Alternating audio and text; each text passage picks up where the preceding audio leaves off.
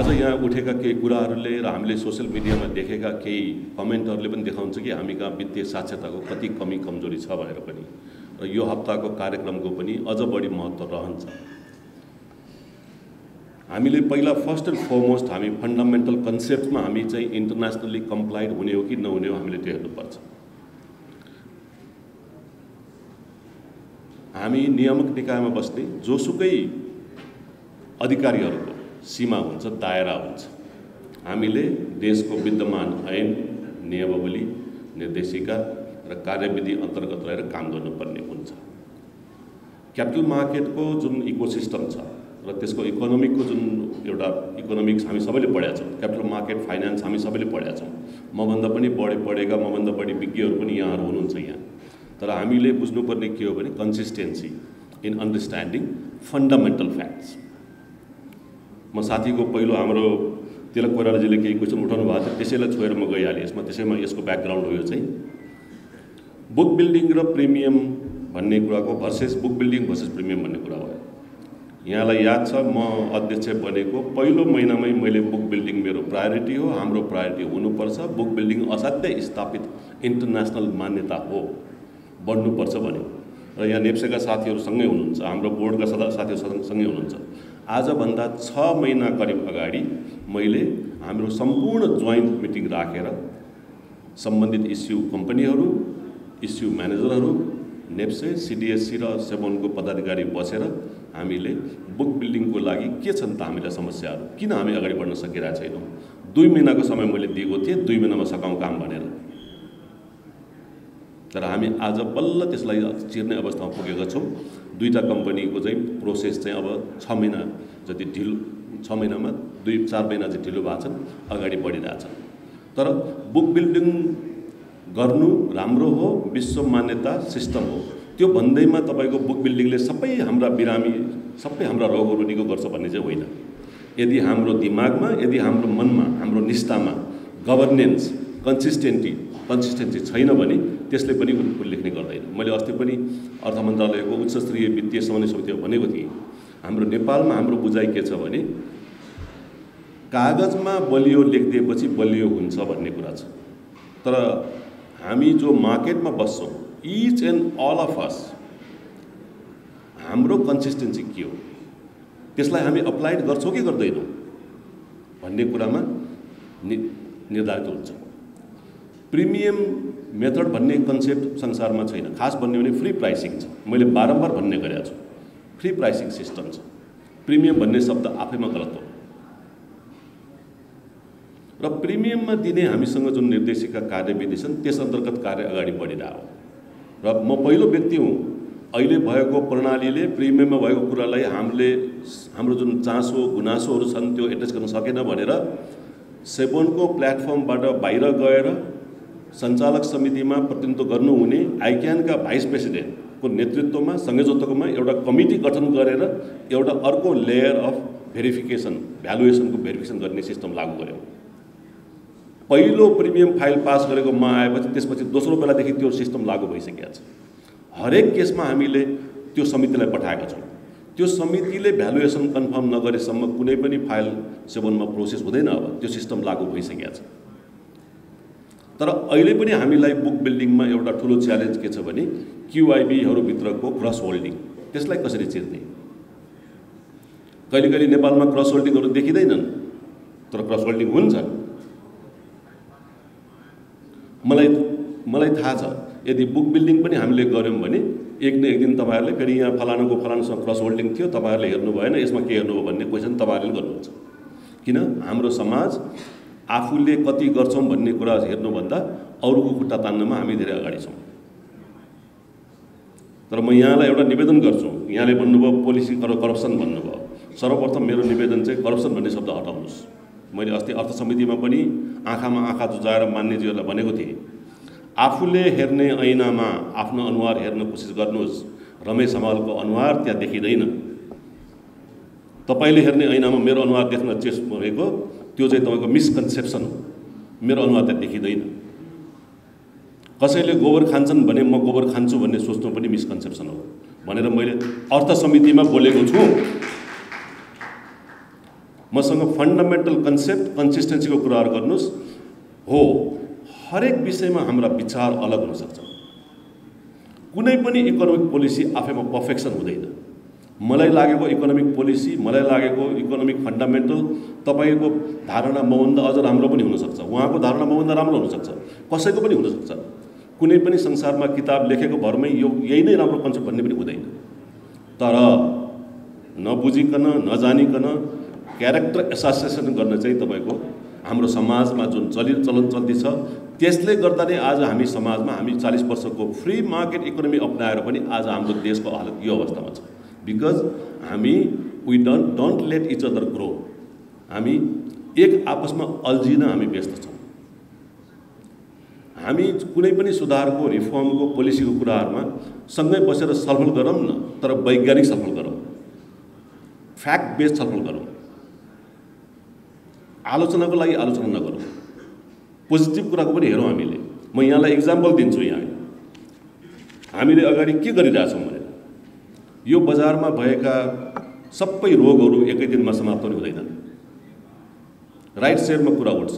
मैले त यो सेवनको अध्यक्ष बन्दाखेरि मेरो कुनै सौखले बनेको पनि होइन धेरै इच्छा गरेर बनेको पनि होइन। सरकारको निमन्त्रणामा म आएको हुँ र मैले त्यतिखेर जुन कार्य दिशा मैले सरकारलाई पेस गरेको थिएँ त्यतिखेरको कार्यदिशा म यहाँहरूलाई पब्लिक गर्न सक्छु। त्यतिखेर नै मैले भनेको थिएँ नेपालको अर्थतन्त्रको खाका हामीले खोजेको साइज र त्यो खालको जब क्रिएसनमा जाने हो भने कमसेकम पनि मेरो कार्यकालमा दुई वर्षमा म दुई सय कम्पनीबाट चार सय कम्पनी पुऱ्याउन चाहन्छु। जबसम्म हाम्रो देशका सम्पूर्ण ठुला लार्ज एन्टिटिजहरू पब्लिकमा जाँदैनन् तबसम्म गभर्नेन्स स्ट्रङ हुँदैन। राज्यको ट्याक्स कलेक्सन पनि सुनिश्चित हुँदैन। प्रोफिट डिक्लेरेसन रेभेन्यू रिफ्लेक्सन यी सबै सरकारले खोजे बमोजिम जब सुनिश्चित हुन्छ र रिलायन्स हुन्छ कतिखेर जब कम्पनी पब्लिक हुन्छन् आज हामी यहाँ आइपिओ फास्ट गऱ्यो भनेर चाहिँ तपाईँको विरोध गरिरहेछौँ। केही देश छन् जहाँ आइपिओ गर्नलाई सरकारले ट्याक्स इन्सेन्टिभ दिइरहेछ। नेपालको सरकारी निकायहरूमा फाइल किन अड्किन्छन् किन अगाडि बढ्छन् हामीले सबैले देखेका छौँ सुनेका छौँ। दुई वर्ष तिन वर्षसम्म फाइल अगाडि जान्थे। मर्जर एक्विजिसनमा पनि दुई वर्ष फाइल रोकेको इक्जाम्पल थिए नि त हामीसँग। मै व्यक्ति हुँ जसले तिन दिनको कार्यविधि लिएर आएँ नि त नि। तिन दिनमा फाइल राइटिङमा पास गर्ने कि फेल फेल गर्ने भन्ने कुरा राइटिङमा कन्फर्म गर्नुपर्छ। आज त्यसले के सुविधा ल्याएको छ? यहाँहरूले देख्नु भएको छ। हामीले अहिले अप्नाएको सेभेनमा हाम्रो जुन नेतृत्व छौँ हामी सबै मैले एक्लै यो कुरा होइन यो टिमको कुरा हो यो पुरा यो इन्स्टिट्युसनको कुरा हो। हामीले जे अहिले प्रणाली अप्नाएको छौँ अहिले हामीसँग भएका विद्यमान ऐन नियमावली निर्देशिका कार्यविधि अन्तर्गत हामीले तजबिजी हटाउनुपर्छ। कोही मान्छेले भेटेर फाइल पास हुने नभेटिकन फाइल पास नहुने सिस्टम बन्द गरेका छौँ।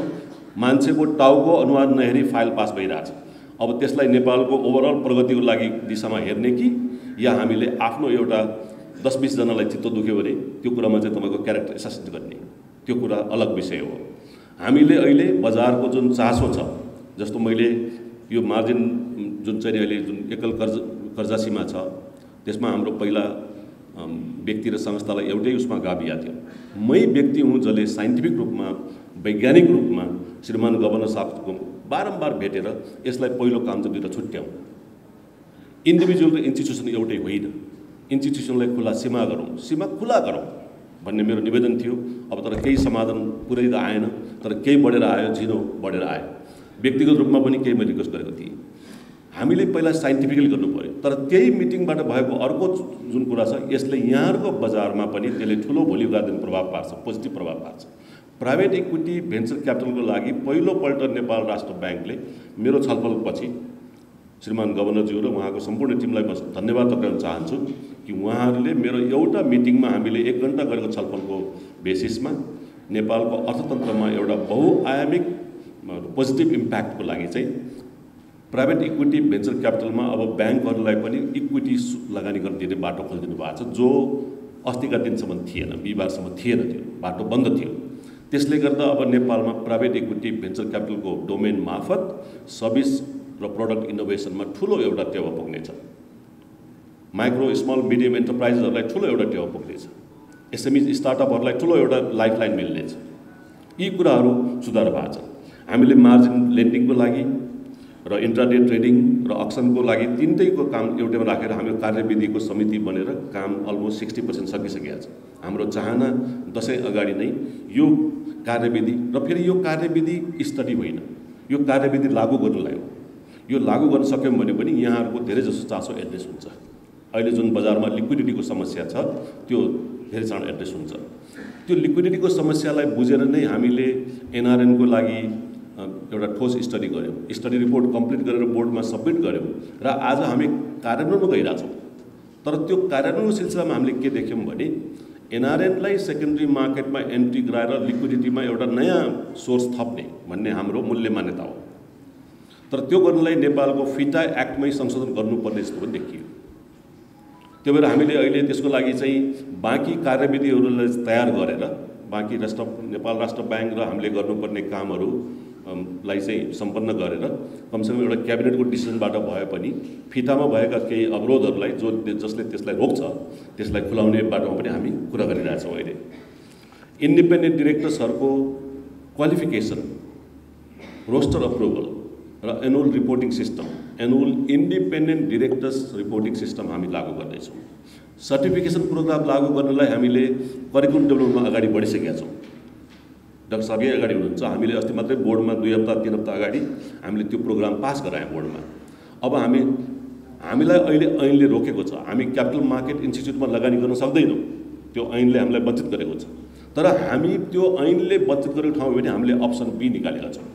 अहिले अहिले हामीले ओएनएम गरेर हामी कहाँ एउटा महाशाखा नै खोलेर हामीले महाशाखा मार्फत यसले के देखाउँछ भने नेपालमा समस्या छ नेपालमा समस्या छ भनेर रोएर बसेर हुँदैन। हामीले इन्टेलिजेन्टली रिफर्म गर्नुपर्छ बाटो खोज्नुपर्छ।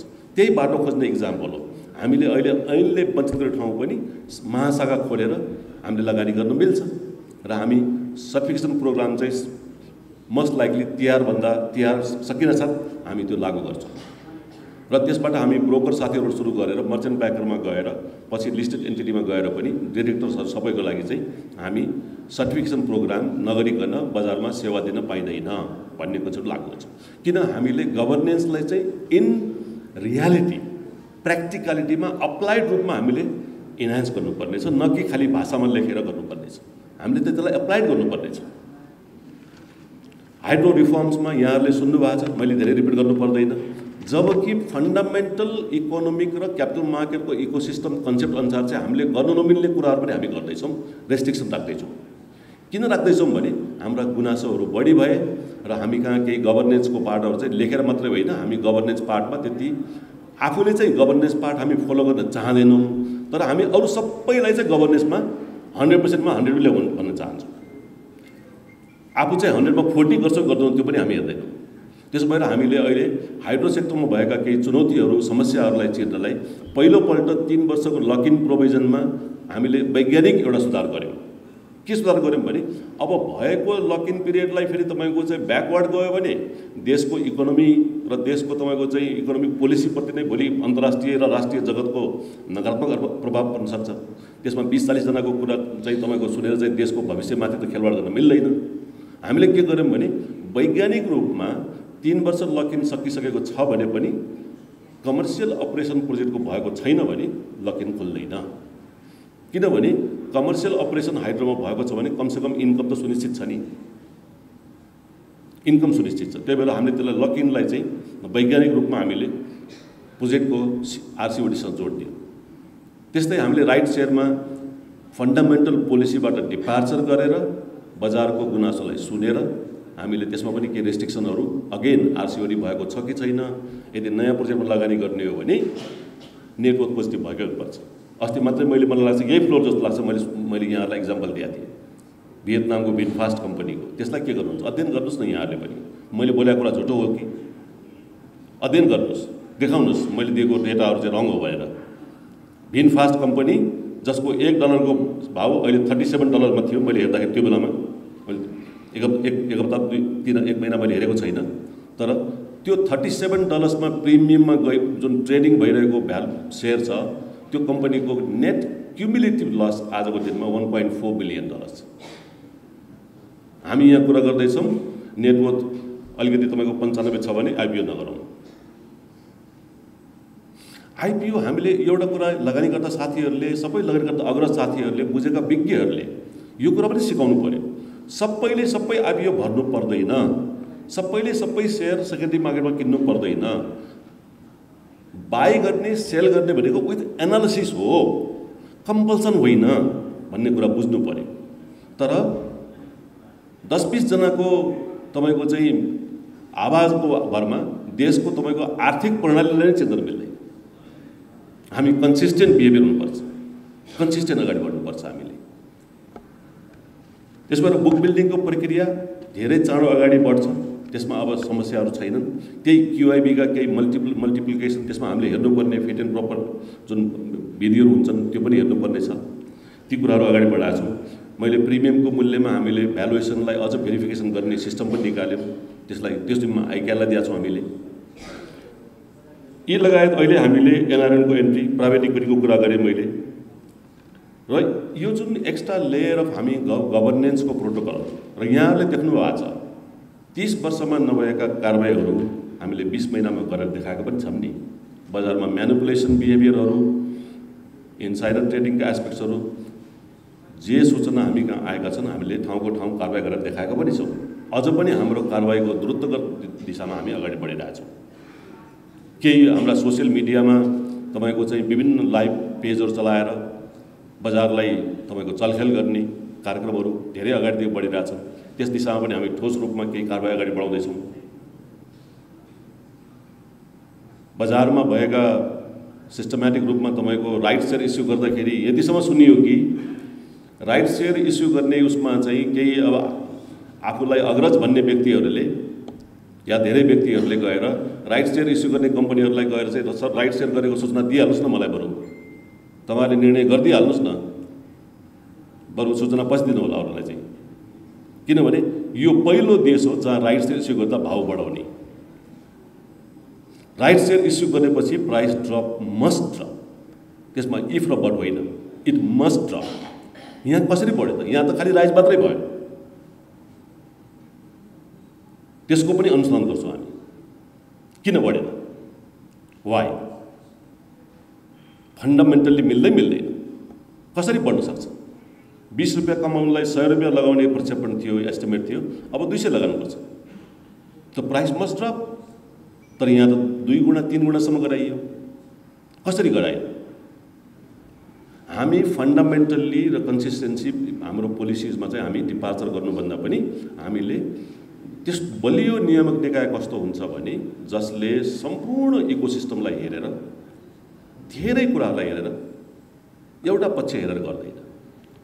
हामीले हिजोको दिनभन्दा आजको दिनमा यो इकोनोमीको यो क्यापिटल मार्केटको इकोसिस्टमको ब्याकबोन चाहिँ बलियो हुनु पऱ्यो संस्था बलियो हुनु पऱ्यो यो संस्थासँग घाँसिएका जति पनि हाम्रा अभिन्न अङ्गहरू छन् नेप्से छ सिडिएस सिडिएससी छ मर्चेन्ट ब्याङ्किङ एन्टिटीहरू छन् ब्रोकर सशक्त ब्रोकर एन्टिटीहरू छन् पुराना साथीहरू पनि क्यापिटल रेजिङ गर्दै हुनुहुन्छ नयाँ एक्स्ट्रा क्यापिटल लिएर आउनु भएको छ।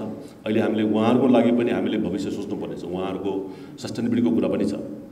त्यसो भएर हामी सबैले हाम्रो हाम्रो एक्सर्साइजबाट हिजोको भन्दा आजको प्लेटफर्म भोलि हुनु पऱ्यो आजको भन्दा भोलिको प्लेटफर्म भोलि हुनु पऱ्यो र त्यस मार्फत हाम्रो ओभरअल नेसनल इकोनोमीको फन्डामेन्टल चाहिँ अगाडि बढ्नु पऱ्यो एक न एक दिन त हामी इन्टरनेसनली कम्प्लाइड हुनैपर्छ हामीले यो चिज चाहिँ प्लिज मेरो विनम्र अनुरोध निवेदन के छ भने हामी सबै बिगे साथीहरूलाई एकछिन अलिकति सानो समस्या परेको बेला भन्दैमा हामीले देशको इकोनोमिक पोलिसीलाई नै ट्विस्ट गर्ने खालको केही प्रो प्रोडक्ट प्रोटोकल्सहरूको चाहिँ कल्पना नगरौँ।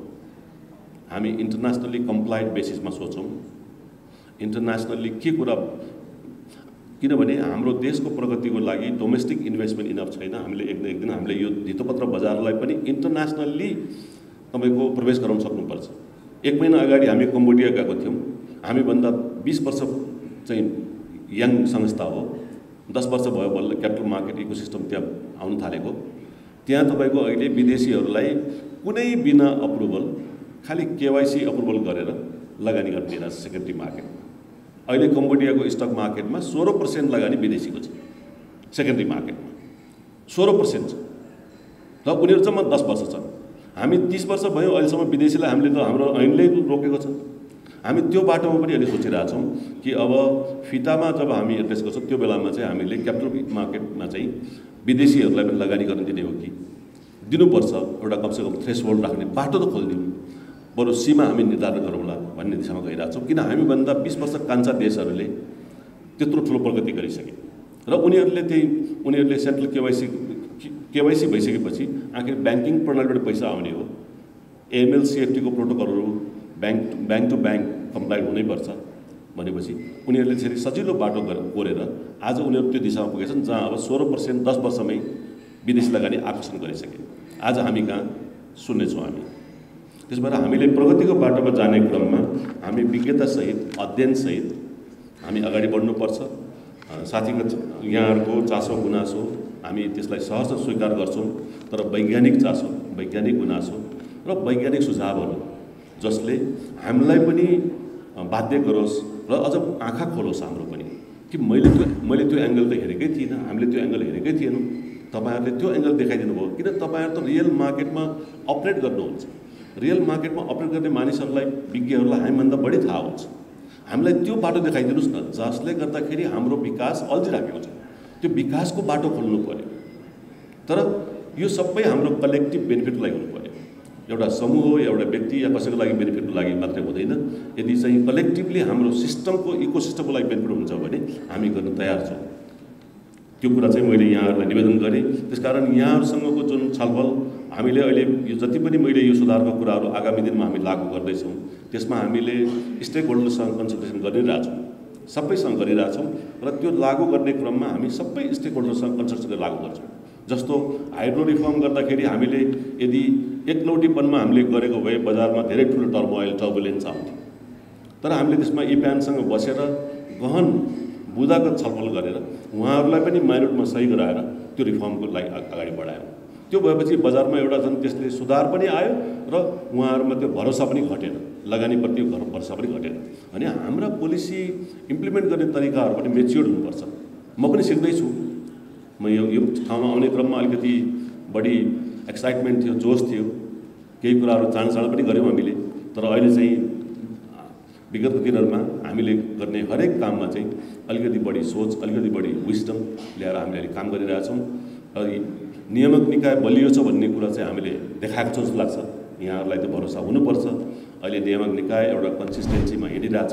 यसमा यहाँहरूको भरोसा रहोस्।